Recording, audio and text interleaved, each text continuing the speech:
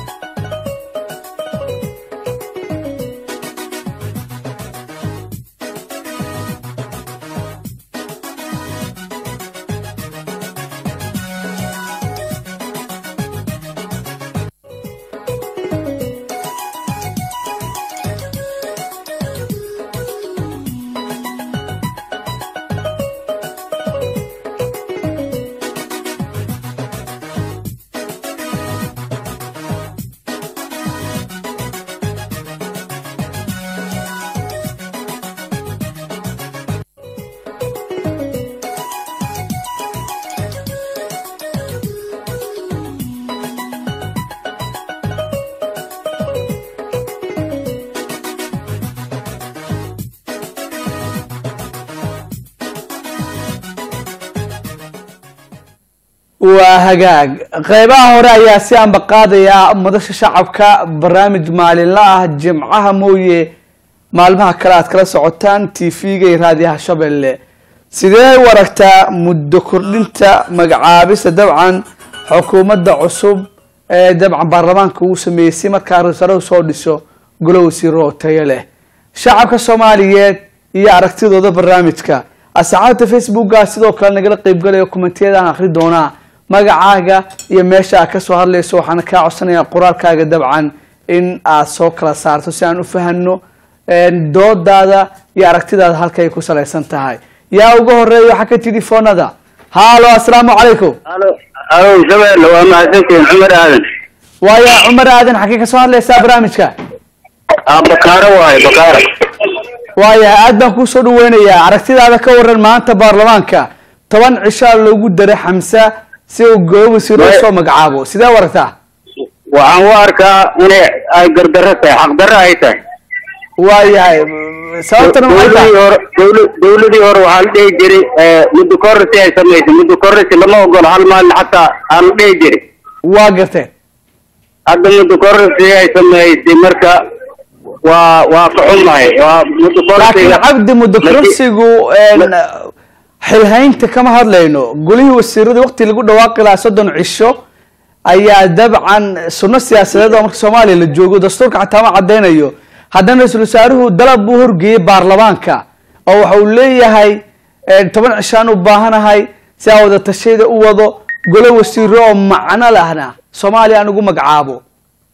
Qabo waay toban maalmood ma lagu qabo kara waa gartay marka muddo kororsigin waaba caddahayba toban maalmood shan maalmood xataa muddo kororsi waaye haye marka ninkan wuxuu raadinaa marka wasiire oo oo hal dhinaca oo xisbigan oo asii duqa ay ka soo jeedaan oo raadinaa haye dad dadka kalena waxay raadinayeen isku dhafaa la raadiyo hayaa saasaan isku haystaa maxaa ku baaqi lahayd marka adigu waxaan ku baaqaa inay waxba ka soo baxayn oo hadda waxay la keenan ay unqaab daraanayin nimanka xildhibaanadoo meesha fadhiyana waa niman oo lacag la siiyo meesha iska fadhiya waayo dadkan uma fadhiyaan. Waa mahadsan tahay. Cabdi aadan ah. oo muqdisho jooga oo barnaamijkaigala qeybgelayay qofka kubaad ayuu noqday. Cidda xigtay iyo telefoonada dooda facebook iyo commentiyadan waan eegi doonaa ha yeeshee markaan. Haalo assalaamu calaykum. Wacalaykum asalaam waraxmatullaahi wabarakaatu cabdullaahi cadaan adigii farsamada saaxiibada barnaamijkaaga jecel shanta qaaradood adduunyada saaxiibada naga dhegeysanaya dhammaan waxaan leeyahay galab wanaagsan wanaagsan wacan waa kugu soo dhaweynayaa barnaamijka. Tallaabada baarlamaanka uu qaaday horta cadaaniyo ra'iisul wasaaruhu horta horta nin maqaar saara waaye sidii macnaha aan ka filayn horta ra-isul wasaaruhu inkastoo aan isleen maaragtay siyaasadda uu ku cusub yahay oo nin maaragtay waxa waaye hadda gacanta lagu hayo la hagayo waaye soddon cisho ayuu duudsaday toban berina maanta haddii lagu darana tobankaas berina waxa waa lagu dheganaanaya waayo madaxweynihii maaragtay ay talada isla lahaayeen maalinba adduun buu u dhoofayaa marka waxbana soo kordhi maysaan leeyahay tobankaas maalmood oo loogu daray soddon cisho ninkii maaragtay wax ku keeni waayey tobankaas berina umalaynaayo haddii wax waayahay laakiin magacaabana ra'iisul wasaaruhu waa uu ka hadlay sababta uu soo magacaabi waayey. Doorashooyinaa soo dhammaadou yidhi is-aaminaad la'aanaa jirto xagga siyaasadda. Wada tashiyaan u baahanahay iyo fursad in la siiyo si markaa xukuumad leh oo macno leh aan u soo dhisho soomaaliya. Hadalkaa ka waran iyo nuxurka uu xambaarsan yahay. Horta ra'iisul wasaaruhu horta dalka iyo xukuumaddii macnaha loo magacaabay waaye laba wasaaradood waaye madaxweynaha iyo ra'iisul wasaaruhu wada tashina way wada leeyihiin intaas markii laga soo tago horta ra-iisul wasaaruhu waxaa ku dhegan waa ognahay madaxweynaha ayaa ku dhegan xisbiga hadda lasoo wadana waa ognahay oo wasiirada loo magacaabi rabo laisku mari laayahay bahashu meeshay ka qurusan tahay sarta meeshay ka qurusan tahay waa waa dareemaynaa marka waxaan leenahay horta haddii wax la magacaabayo dad soo halgamay oo khibrad ra-iisul wasaarenimo leh oo waddankan usoo shaqeeyey oo wax iina aan lahayn horta aa jooga laakiinse looma ogolo cadaani oo looma ogolo waxaa la rabaa dad maaragtay waxa waaye sida asagoo kaleeta oo maaragtay waxa waaye la hagi karo in maaragtay miiska lasoo wada saaro marka waxaan dhihi karaa ra-iisul wasaare ra-iisul wasaare horta xukuumadda maanta adaa madax u eh waa lagu magacaabay inaad maaragtay siyaasadaada aad fuusho miiska aad fuusho wixii kula anfac kula eh maaragtay aad cidna aad uga hoos tegin oo xukuumaddii aad si deg deg aad ugu dhawaaqdo ayaan maaragtay waxa waaye kugu soo jeedinaynaa maadaama aad siyaasadda aad ka cusub tahay laguna yahaan ognahay aad baa umahadsan tahay cabdiqaadir oo xamar ama magaalada muqdisho jooga oo igala qeybgelaya madadka shacabka? Facebooka iyo kommentiyada saaxiibada barnaamijka igala qeybgelaya waxaa ugu horreeya oo nasiib u yeesha dhinacaasi. Assalaamu calaykum shabelle t v magacaygu waa liibaan axmed. Waxaan joogaa degmada buur hakaba ee gobolka baay. Waxaan u arkaa waqti lumis waxaan ugu baaqayaa in xal waara ay gaaraan buu leeyahay dabcan. Liibaan oo buuraha kaba baay koonfur galbeed soomaaliya jooga dabcan. Waa yahay assalaamu calaykum. Magacaygu waa yusre maxamed. Waxaan joogaa dalka sacuudi carabiya. Ra'iisul wasaaraha waxaan leeyahay oo aan ugu darnay muddada kororsiga shan iyo toban cisho insha allah. Waa yahay way mahadsan tahay yusre oo dabcan fariintaa ka soo dirtay sacuudi carabiya aada bay u soo dhaweysay muddada loo kordhiyay madaxweynaha oo toban cisho ah. Waa yahay. Waxaan eegi doonaa fariimaha kale. Fawsiyo faarax waxay leedahay waxa naga boobsiiya ayay ku soo koobtay. Waa yahay.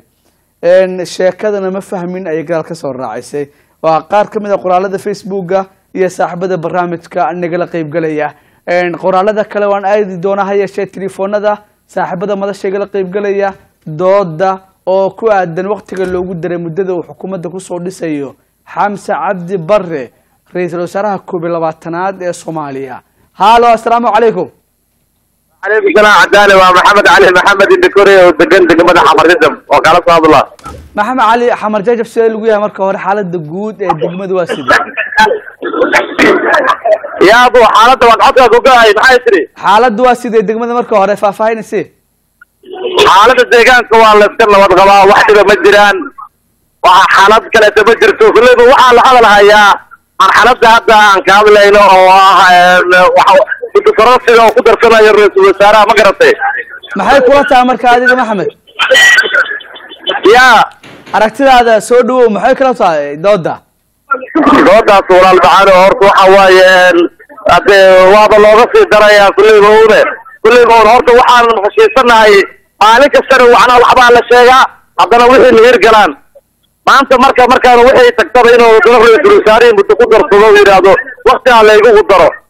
Marka aad iyo aad horta dawladda shacabkii doorashay horta madaxweynaha ugu weyn yahay ee aad iyo aad horta uga xumaadeen arrinkaasi inuu saas maanta wax u dhacdo muddadiisa oo dhamaystay haddana waxba soo magacaabin waxa ay ku dhacday isweydiin dheer ayaa ka jirta ma garatay maxaa ku baaqi lahayd marka maxamed horta aad iyo aad waxaan ugu baaqi lahay dawladda waxa waye horta waxa waaye wax kastaba in lagu raago oo xoogaa aqliyan sida maamaadyada iyo dhihi jiray dadkii hore in lagu raago oo laska laga fiirsadaa waa fiican tahay hal talaase anigu mar kastaba aan dhahaa mar kastana hore u dhahay ra-iisul wasaaraha iyo madaxweynaha iyo baarlamaanka ka fiirsadaan halka qof loo wada magacaabayo wasiir iyo xildhibaan iyo wasiirka xogeyn taas ayaa aad iyo aad ugu xun tahay meeshaasi qofka ha laga fiirsado aqoontiisa lagu raadsado waa fiican tahay.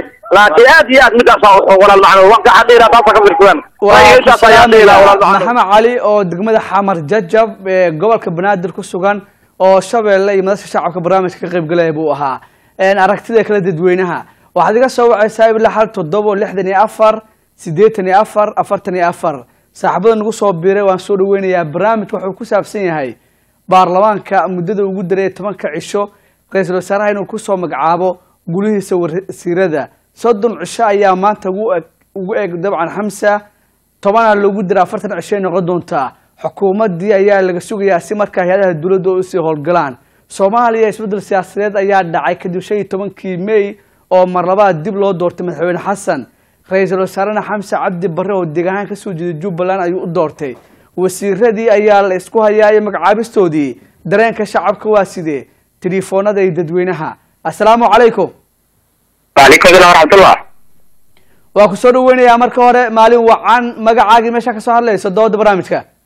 Maasha allah cadaani waan dhowahay waa cabdikaafi saciid jooga degmada hodan. Waayo cabdikaafi saaxiibada ka mid tahay dooda maxay kula tahay muddo kordhinta baarlamaanka in wakti dheeraad ah loogu daro ra'iisul wasaaraha oo bil ay u buuxsanta ama soddon cisho inuu soo dhiso xukuumadda u kordhiyeen muddo toban cisho ah sidaa og tahana dastuuri ma ahan ra-iisul wasaaruhu inuu soddon cisho kusoo dhiso xukuumad dastuur xukuumad taasho dabcan waa xogaa barnaamij la iska aaminay oo si aad ugu walto dhawaajido sunna soomaali ah laakiin dabcan ma ahan shay dastuuriya madaxweyne ra-isul wasaaraha looga baahan yahay haddii uu khilaafana lagula xisaabtamayo ma aha in madaxweynuhu ra-isul wasaare wax walba xeeriyo welihiisa wasiirada uu soo dhisayo la sameeyo maa madaxda maamul goboleeda kala tashto dadka laxajeclada dalka iyo dadkuba ay ku jirto oo kala tasho si uu u soo saaro xukuumad tayalana waa arrin bogaadin mudan. Waxaan u malaynayaa madashaan oo kale maalinka ra'iisul wasaaraha la magacaabay ra'isul wasaare xamse. Aan uga hadalna ra'isul wasaare xamse inuu yahay nin degan aragtida siyaasadu dabacsan tahay la tashiyaal badan go'aamadana aan ku degdegin. Taas baa keenaysa in dib loogu dhigo muddo korodhna loogu sameeyo toban cishana uu qaato waana arrin bogaadin mudan soomaalida waxa dhahdaa geedkii orod lagu koro orod baa looga soo degaa micnaheedu waxa ay tahay shaygii la fududeysto dhibaata ka imaan karta si ra-iisul wasaaruhu oo ugu qanciyo madaxda maamul goboleedyada iyo bulshada soomaaliyeedba xukuumadda uu dhisi doono wuxuu u arkay wakti badan inuu siiyo si qofka lasoo xulaayo lana magacaabayo loo soo xulo khibrad ninka aqoon iyo daacadnimo dadkuna ay ku wada qanci karaan taas baan aaminsanahay in dib loogu dhigo. Waa mahadsan tahay cabdikaafi facebooka iyo kommentiyada saaxiibada barnaamijka igala qeybgalaya aan siiyo fursadda. Waayahay nasro culusow ra'iisul wasaaraha. Waa hal naasa go-an go'aan ma laha. Ay waaya waa aragtideeda dabcan barnaamijka. Waxaan aadi doonaa saaxiibada kale. Magacaygu waa caashe cuud waxaan joogaa dowlad deegaanka soomaalida etoobiya waxaan leeyahay barnaamijka aad buu u mahadsan yahay ra'iisul wasaaruhu allaha u soo fudeeyo muddada uu qabsaday. Waayahay magacaygu waa cabdiqaadir nuur suleymaan waxaan joogaa magaalada muqdisho. Waxaan leeyahay fudeedka ma fiicino ha loogu daro muddo dheeraad ah ra'iisul wasaaraha waayahay yuusuf dheere xalane sida ay wax u socdaan ma fahmin ayuu leeyahay qoraalkiisa. Aragtida kale dooda iyo dhegeystayaasha barnaamijka iyo daawadaashiga la qeybgalaya. Haalo assalaamu calaykum maalin wanaagsan waa ku soo dhaweynayaa magacaagii meeshaa ka soo hadlaysa ugu horeyn waa dhawahay waa dhuur soo joogta bulshadey aniga fikradeyda haddaan ka dhiibto horta ra'iisul wasaaruhu waktiga uu ku darsaday maaragtahay aniga qalad ila tahay sababtoo ah bilo bilo loo qabtay bil wuxuu ku qaban waayana toban beri ku qaban maayo waxaan isleeyahay dalka waxu maqanba ma leh sababtoo ah madaxweynihii loo doortaba loo doortay xaji maxamuud taan ognahayba wadanka kuma sugna maalinba meelow iska aadaa wadankuna shaqo u baahan yahay waa aad iyo aad u rafaadsan yahay muqdisho waayahay laakiin ra-iisul wasaaruhu wada tashiyu wadaa caadiyan hore way u dhacday in ra-isul wasaaraha wakti loogu daro xilliga xukuumadda uu soo dhisayo maadaama soomaaliya oo dhan wax loo qaybinayo golaha wasiirada oo afar dhibic shan wax lagu qaybsado beelaha soomaaliyeed marka la eego. Sooma mudna in marka wasiiradii laga fakiro oo dadku wax isku darsadana dabcan cadaaladda uu ka shaqeeyo ra'isul wasaaraha? Aniga waa ila fiican tahay in wax laga sugo laakiin qofti kuu maqan baa la sugaa. Marka aniga wax ku baqi lahay ra'iisul wasaaruhu inuu ka fiirsado maaragtay hadda markii ugu horeyda waxaa la dhisi jiray xildhibaan iyo iyo maaragtay iyo wasiir isku hal qof ah. Marka waxaan ka codsan lahay in hadduu noo maqan yahay waan sugaynaaye inuu xildhibaanada wasiirada uu ka madax baneeyo xildhibaanada hadda aan hore u naqiinay xildhibaan oo isaguna wasiir ah. Qaadanaya laba qofood maaragta mushaarkeeda dadka caaqiliinta banaanka ay dawladda ka taagan yihiin ay maaragtay dawladdana wax ku soo kordhi lahaayeen. Dhalinyarada waxbaratana banaanka ay iyankoo dadka wax ku soo kordhi lahaayeen ay maaragtay shaqalaan wada taagan yihiin. Dawladdana xilala oo ka helin maaragtay oo xilalkana hal qof la isugu geeyo amba xildhibaanada meesha fadhiyo macal wasiir laga wada dhigo. Marka taasaan aan dhihi lahay inuu wax ka bedelo waayahay waa mahadsan tahay qoraalada facebooka ee saaxiibada doodiga la qeybgalaya waayahay cabdiweli cabdullaahi. Habaraage waxaan waayahay ku celiya halkaa. Habaraage ra'iisul wasaaruhu wax raayo ha keeno ayaan leeyahay buu leeyahay dabcan. Qoraalka qaabkaas buu soo qoray. Magacaygu waa farduus waxaan joogaa gobolka sool. Ra'iisul wasaaraha uma madax banaano shaqadiisa.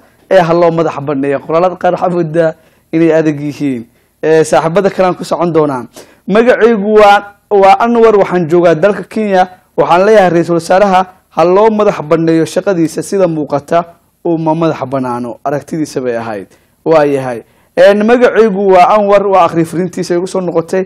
Cadar ciise assalaamu calaykum cadaani waxaa waxba sooma kordhinayso soddon cisho wax uu qaban waayey maanta ma qaban karo. Waayo toban cishaa loogu daray aragtida dadweynaha iyo doodooda barnaamijka balse markan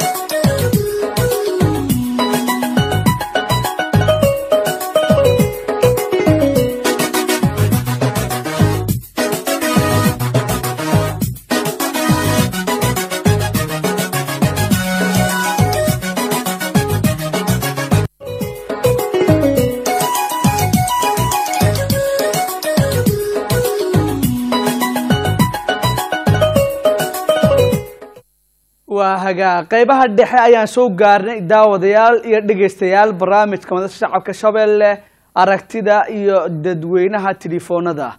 Haalo assalaamu calaykum. Waalaikum salaam. Maalin wanaagsan magacaagii meeshaa ka soo hadlaysa ugu horreyn barnaamijka? Waa ismaaciil oo joogo muqdisho gaar ahaan darkine waaya ismaaciil aragtidaada hor u gal xukuumadda soddon cishaa dhamaatay toban kala lagu daray oo afartan baa la gaarsiiyey fursadda ra'iisaalaha hortaalla iyo xukuumadda loo baahan yahay maxay kula tahay? Horta maanta waxay sameeyeen baarlamaanka waa wax aada loogu xumaado. Maxaa yeelay qof oo soddon cisho la siiyey oo wax qaban waayey inuu hadda toban cisho wax qaban karo oo wax fiican ku soo xili karo.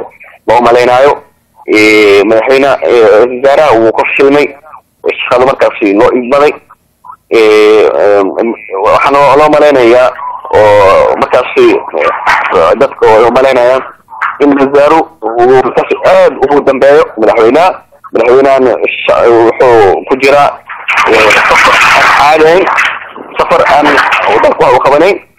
Marka waxaa malaysaa inuu madaxweyne aada ugu dambeeyo taasna waxay keentay inuu toban cisho oo dhan u sii tobanka cishona waxay ku imaatay madaxweyne safarkiisa marka waxaa loo baahan yahay wasaara waxaa loo baahnaa inuu ka fikiro dalkan horumar si loo gaarsiin iyo inuu qof markaasi oo oo gooni ah inuu markaasi raaligelin oo ummadda soomaaliyeed u raaligeliyo ayaa laga rabay. Laakiin hadda wuxuu gelinayaa madaxweynaha. Marka arrintaas waa arrin aan loo baahnayn marka. Waa mahadsan tahay. Waa ismaaciil oo jooga dharkinle muqdisho aragtidiisa.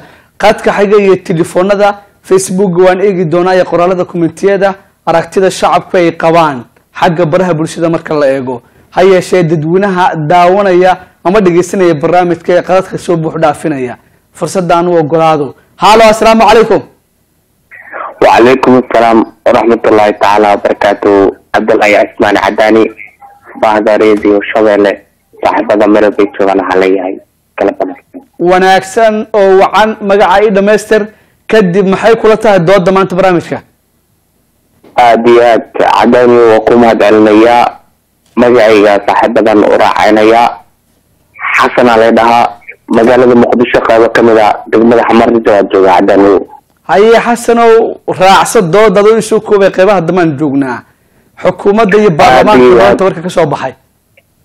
Aad iyo aad runtii xukuumadda oo la siiyey fursad oo dhowr cisho ah.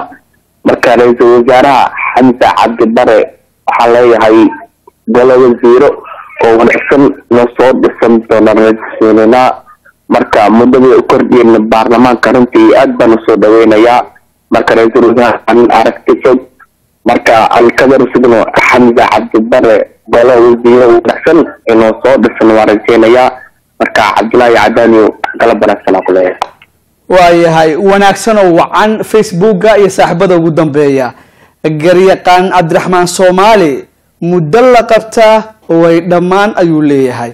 Faysal cabdi jaamac baakaay in waqti dheeraad ah la siiyo ilama aha waa in xilka laga qaado. Waa aragtidiisa dabcan ee barnaamijka. Faran cali aniga oo joogo taleex aad ayaan ugu faraxsanahay xamse iyo xasan shaqadooda hambaliyo hambaliyo waayahay. Aad baan idiin salaamay shabeelle magacaygu waa sakariye maxamuud cali. Waxaan joogaa degmada hodan waxaan u arkaa go'aan sax ah guuleyso ra'iisul wasaare xamsa. Assalaamu calaykum. Waxaan leeyahay waxa loogu daro ra'iisul wasaaraha dalkiisa iyo dadkiisa wax u qabto. Diireeye yare ayaa soo qora fariintaasi dabcan. Waayo assalaamu calaykum cadaani madaxweyne xasan sheekh safarka ha dhaafo ha u shaqeeyo shacabka soomaaliyeed. Shaqaa laga sugayaa bilan macalin ayaa sidaa leh iyana waayahay assalaamu calaykum shabeelle magacaygu waa ismaaciil cabdulaahi jinow oo jooga south africa. Dabcan madaxweynaha danta qaranka waxa uu ka hormariyey dantiisa qaaska.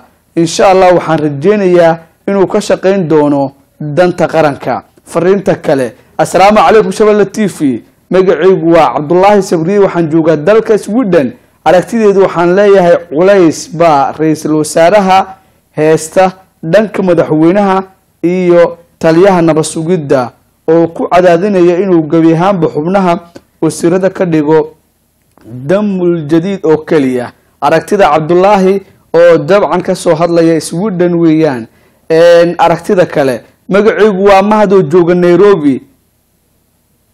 Allaha la garab galo wad waayahay ku celiya halkaa.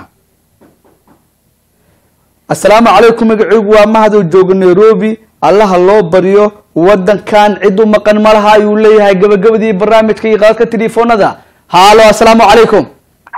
Asalaamu calaykum. Wacalaykum salaam waa ku soo dhaweynayaa maalin wanaagsan marka hore. Wanaagsan waa maasha allah muxuu ahaa waxa weye ismaaciil cabdi xamuud oo madaxweynaha garas baaley waayahay hore u gaalgaras baa leeyay see lagu yahay marka hore barnaamijka kaasaan xaafada waa jooga aada loogu fiican yahay maasha allah muxuu ahaa barnaamijka waa la socdaa adiga haddana aada idin salaamaya shabelle inta dhegeysanayso haye aragtida ka waran xukuumadda toban cishaar wasaaraha fursad u haystaa dabcan barnaamijka aada waan soo dhaweynaynaa muxuu ahaa wax walba in laga fiirsado ayaa u fiican ma garat haye marka ra'isul wasaare baarlamaanka waa soo dhaweynaynaa muxuu ahaa muddokudirinta ay u dareen isagana waxaan ka rajeynaynaa dad aada u wanaagsan wasiire aada u fiican waa mahadsantaa khadka xigaanu geli doonaa gabagabadii aynu joognaa saaxiibayaal madasha shacabka shabelle t v iyo shabelle radio intaba haalo assalaamu calaykum calaykum salaam cadaan ku salaamaya galab wanaagsan oo wacan gunaanadkii barnaamijka hal iyo laba maxaa oran lahayd dooda waa mahadsantahay wasalaam runtii waxaan dhihi lahay wasaare xamse tobanka dil loogu daray horta wax asiga kow ugu bilaabo maahan xukuumadihii ka horreeyaan waa loogu diri jiray wax weyn oo saas weyna maahan soo dhisitaanka golaha wasiirada waxay baahan tahay ka fikir iyo xagga wanaag wanaagsi in lagu dadegana ma ahan maxaa yeele waa wuxuu matalaya bulsho qaran dhan soomaali dhan oo four point wax loo qeybanayo marka waxaan dhihi lahaa dadka oo xasan ra-iisul daldaliilaya waxaan ka fiirsadaan waxaana dhihi lahaa qaabka kusocoteen waa qaab qaldan sababtoo ah wasaarihi shaqa bilaaban baa waxaa ku sheegaysa inuu yahay in shaqadiisa howlkeen marka waxaan ilaa xamsa toban beri weliba waa yartahay boqol haddii loo dhigo xataa waa inuu ka fiirsadaa waa saadaam aad baa umahadsan tahay qadka xiga laba iyo hal iyo fursad inaan ka gaaro barnaamijka gunaanadkii baynu joognaa madasha shacabka halo asalaamu calaykum marka hore maalin wanaagsan wacalaykum assalaam waraxmatullahi wabarakaatu waa maxamed cali waan soo dhaweynayaa yani baarlamaanka waa wakiilada shacabka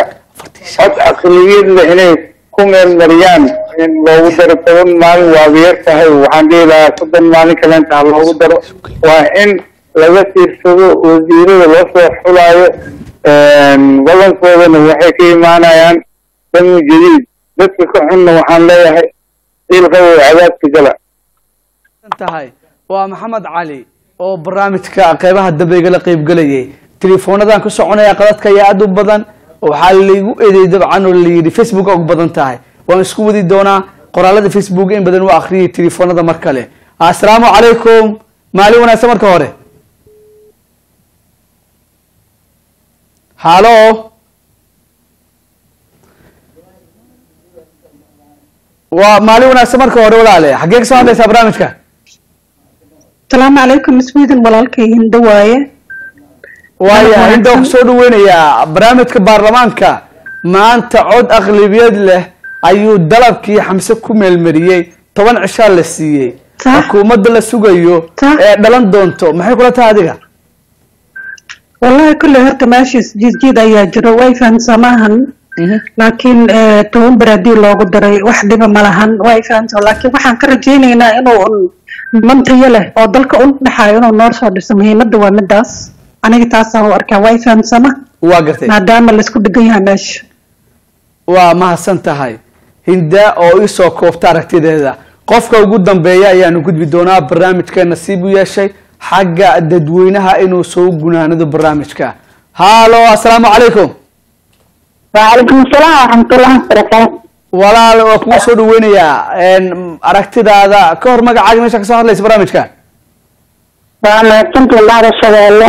Haddeen adigana waa ku salaamayaa salaado joogto degmada kaaraan. Waayahay salaado kaaraan sidi lagu yahay marka hore? Alxamdulilah hadda waa lagu fiicayo wax jiraan.